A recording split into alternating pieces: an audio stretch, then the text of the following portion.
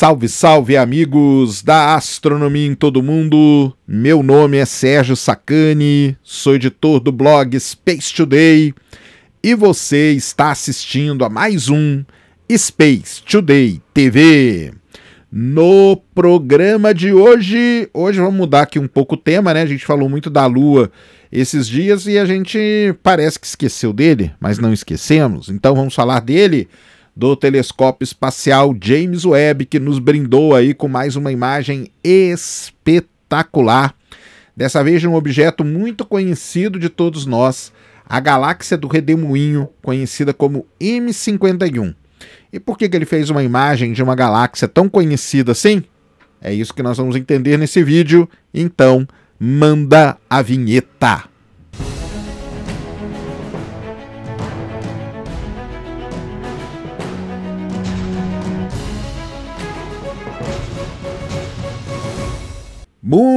Muito bem, pessoal, vídeo novo aqui no canal. Antes do vídeo começar, você já desce aí, já deixa o seu like, já se inscreve no canal para você não esquecer durante o vídeo e para ajudar a causa da divulgação científica no Brasil. É o seguinte, você sabe o que você tem que fazer, né? Aliás, é mais uma semana que estamos ali figurando entre os três para disputando, disputando duas vagas para a final no Prêmio Best. Então continue votando muito. Vou deixar o link aí na descrição para pelo menos a gente ir na final. Nós só estamos disputando com gente grande, nós somos nanico ali.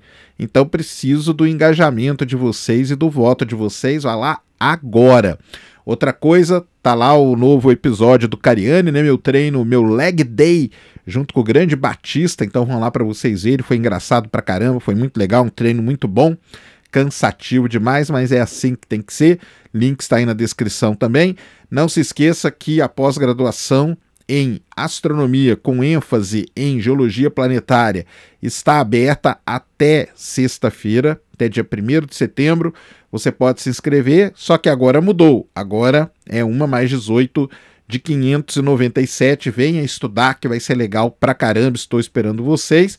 E por último, não se esqueça também do evento que vai acontecer em João Pessoa antes do eclipse anular do Sol. O eclipse é dia 14 de outubro.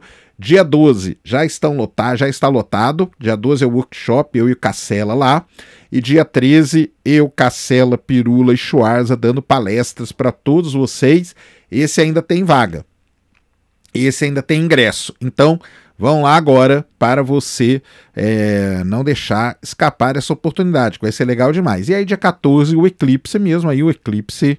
É, qualquer um pode ver de onde quiser, não tem problema, logicamente, nenhum, né? Então, mas estaremos lá num local para a gente observar junto também, beleza? Todos os links aí na descrição. Dito tudo isso, vamos para o vídeo de hoje passar aqui nossos 10, 15 minutinhos batendo um papo sobre algo importante, interessante e relevante que acontece no nosso universo. Muito bem, né? É, alguns aí devem ter pensado que a gente tinha esquecido dele, do telescópio espacial James Webb, mas não esqueci não. Então estou trazendo aqui hoje uma nova imagem, a imagem, uma das mais recentes, acho que é a mais recente, né? Publicada pelo telescópio espacial James Webb, que é a imagem da galáxia M51, que é conhecida também como galáxia do Redemoinho ou NGC 5194. Primeiro, alguém pode perguntar por que, tem tanto nome assim, né? M51 quer dizer é, Messier 51.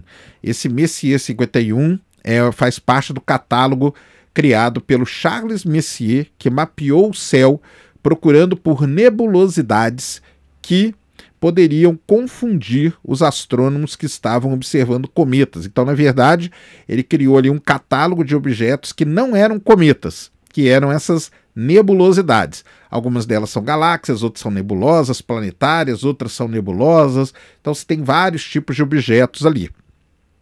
Esse catálogo tem 100 objetos ali catalogados pelo Charles Messier.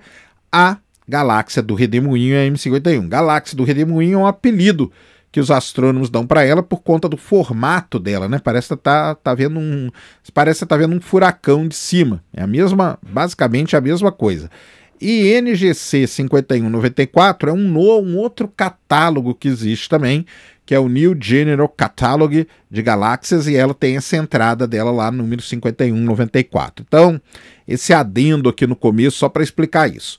E aí, né, a M51 ela fica localizada a 27 milhões de anos-luz de distância da Terra. Bem, 27 milhões de anos-luz é, lógico é uma grande distância, mas para as distâncias que nós estamos acostumados a falar aqui com o James Webb, que é na casa dos 9, 10, 11, 13 bilhões de anos-luz, 27 milhões é muito próximo. E na verdade ela é uma galáxia próxima. E aí alguém pode saber, perguntar assim: ué, mas o James Webb quer estudar galáxias próximas também? Sim, também. Por quê? O James Webb tem vários objetivos. Então, ele tem lá o objetivo de entender como que as primeiras estrelas, como que as primeiras galáxias se formaram no universo. Aí ele vai lá e observa o universo muito profundo que a gente chama, pertinho do Big Bang. Ele tem o objetivo de descobrir as bioassinaturas. Aí ele observa exoplanetas. Mas ele também tem o objetivo de descobrir como as estrelas se formam nas galáxias. E para isso, ele não observa galáxias distantes, ele observa galáxias mais próximas, entre elas a M51, que tem grandes vantagens, por quê? Porque é uma galáxia muito, muito estudada.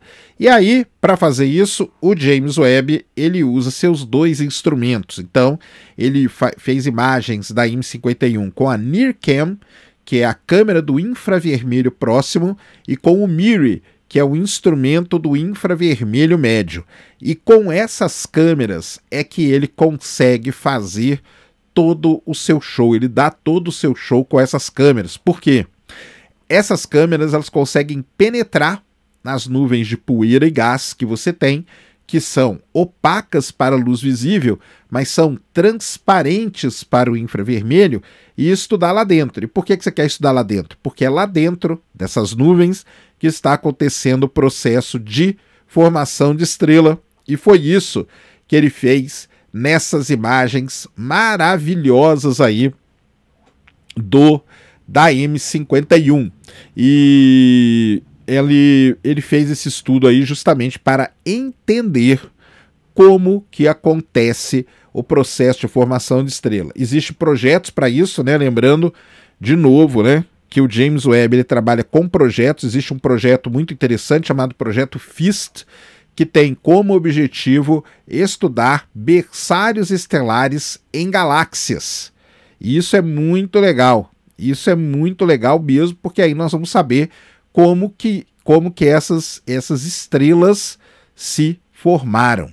Como que essas estrelas se formaram. Os astrônomos, usando James Webb, eles estão vendo pela primeira vez aglomerados de estrelas emergindo de sua nuvem natal em galáxias que estão além do nosso grupo local, por exemplo, a M51.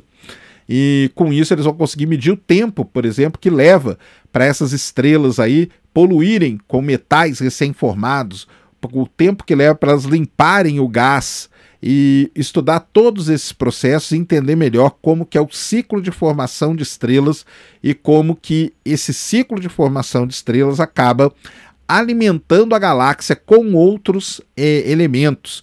Então isso é muito importante, muito importante mesmo, porque se a estrela é a base da galáxia e são, é ao redor das estrelas que se formam os planetas, então é, é tudo isso está interligado. Por isso que os astrônomos eles vão atrás disso. E para e nada melhor do que o próprio telescópio espacial James Webb para fazer esse tipo de observação. Como eu falei, ele penetra nessas nuvens de gás e poeira e lá dentro ele vê esses aglomerados estelares. As áreas brilhantes que vocês vão ver aí nas imagens ao longo dos braços espirais da galáxia são regiões de formação de estrela que levam ao núcleo central que está ali meio azulado, né, meio esbranquiçado. As áreas de cor meio alaranjada e meio amarela mostram regiões de gás ionizado criadas por aglomerados estelares que se formaram recentemente. Com isso, o James Webb ele revela que existem bolhas escuras, né? Parecem cavernas ali dentro dos braços que permitem quase ver através do gás e da poeira até as estrelas distantes que de maneira que a gente nunca viu antes da história da astronomia. Então isso aí é, é muito, muito legal mesmo da gente poder poder fazer, né, esse esse processo de observação é, de estrelas. Outra coisa muito legal, né? Então é, existe o feedback estelar também, tá? E o feedback estelar é, ele tem um efeito muito grande no meio da galáxia e cria uma rede complexa de nós brilhantes e é, e é esse feedback estelar que cria essas bolhas, né? Essas bolhas escuras que vocês vão ver nas imagens, parecem cavernas aí que nós estamos vendo na imagem do James Webb. Então tá aí uma belíssima imagem feita pelo James Webb de uma galáxia que é muito conhecida. O legal é que essa galáxia ela é muito fotografada até por astrônomos amadores, porque como ela não está tão longe assim, ela é uma galáxia grande, então você pode fotografar ela. Para quem não sabe, ela fica na constelação de Canis Venatici, tá?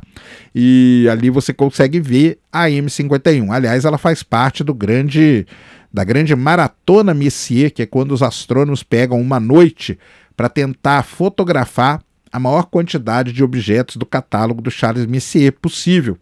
E a M51 sempre está ali. Não está nessa imagem, essa imagem ela está fechada, a imagem do James Webb ela está fechada no núcleo e numa parte dos braços espirais da galáxia. Mas quando você vê, eu vou deixar uma imagem aí, vou deixar várias imagens passando, né? Vocês vão ver. Tem uma imagem de um campo mais aberto, vamos dizer assim, da M51, que vocês vão ver que tem uma galáxiazinha do lado ali. Essa galáxia é a NGC 5195. A M51 é a NGC 5194 e essa pequena do lado dela, a NGC 5195. E essas, essas duas galáxias aí, elas estão em interação. Então você vê ali uma, uma o que a gente chama né, de uma corrente né, de, de, de estrelas, uma corrente de maré que o pessoal chama ligando elas. Então tem todo esse processo acontecendo. E nas fotos que vocês vão ver, nas fotos feitas por, por telescópios, né, ah, até mesmo pelo, pelo próprio pelo próprio Hubble, né? Você vai ver que a imagem do Hubble ela é completamente diferente da imagem do James Webb, porque o Hubble ele não observa nos comprimentos de onda do James Webb. Então, o Hubble ele vê aquela imagem tradicional de uma galáxia. Só que o objetivo do James Webb é penetrar ali e entender o que está acontecendo ali dentro daquele gás e daquela poeira, porque é assim que nós vamos entender como as estrelas se formam. Então tá aí todo um resumão para vocês dessa belíssima imagem, mais uma belíssima imagem feita pelo telescópio espacial James Webb, dessa vez a galáxia do Redemoinho, a M51 aí para vocês, brilhando na tela, o, o texto na, na, no site da no site da ESA, né, é um banquete para os olhos, e é mesmo porque é muito bonita mesmo essa imagem feita pelo James Webb, beleza? Pessoal, então esse era o vídeo que eu queria trazer aqui no canal para vocês agora. Espero que vocês tenham gostado. Se gostou, já sabe, é aquele tapa no dedão, aquela voadora com tudo no peito do like. Isso ajuda pra caramba o vídeo canal a ganhar relevância. Nunca se esqueça do pacotão youtubístico. Compartilha, favorita, se inscreve no canal se você ainda não é inscrito, deixa aí nos comentários o que você quiser saber. Tamo junto dioturnamente na luta contra a má divulgação científica no Brasil e contra a anemia na divulgação da astronomia no nosso país. Mais uma vez, meu nome é Sérgio Sacani, sou editor do blog Space Today e você acabou de assistir a mais um Space Today TV. Fui!